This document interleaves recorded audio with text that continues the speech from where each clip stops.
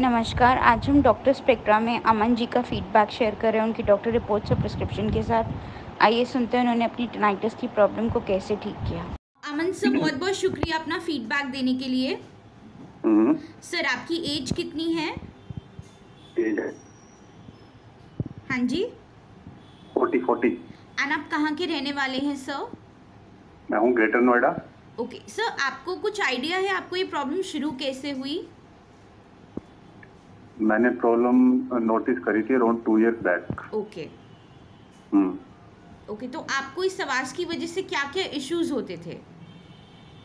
बस थोड़ी इरिटेशन होती थी स्टार्टिंग में। ओके और जब भी मैं मतलब लोन होता था साइलेंट में होता तो नॉइज़ ज़्यादा ओके जैसे नॉइस एरिया में ऑल ओके ओके ओके तो आपको हमारे बारे में कैसे पता चला सर तो फिर जब मेरे को ऐसा कुछ प्रॉब्लम होता था तो फिर मैंने ऑनलाइन सर्च किया और बाकी मैंने ई एन टी स्पेशलिस्ट को भी दिखाया। हम्म तो वैसे धीरे धीरे मेरे को कुछ पता आइडिया पहले तो कुछ आइडिया नहीं था क्या होता है ये फिर मेरे को लगा कि टेनाइटिस कुछ होता है। तो फिर मैंने ऑनलाइन आपका और डिटेल आया फिर मैंने विज़िट किया था।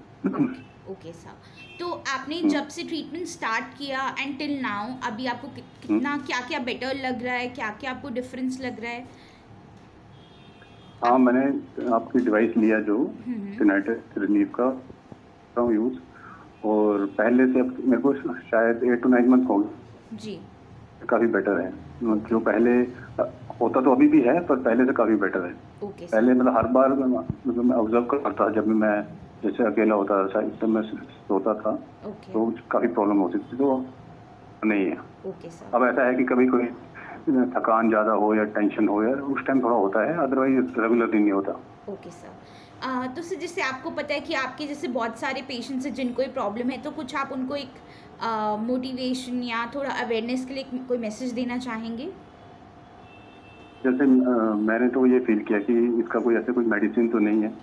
क्योंकि मैंने काफ़ी जगह कंसल्ट किया था तो मेरे को फील किया मैंने। ओके सर ओके तो सर क्या मैं आपका ये फीडबैक अपने यूट्यूब पे डाल सकती हूँ बाकी पेशेंट्स को अवेयरनेस देने के लिए?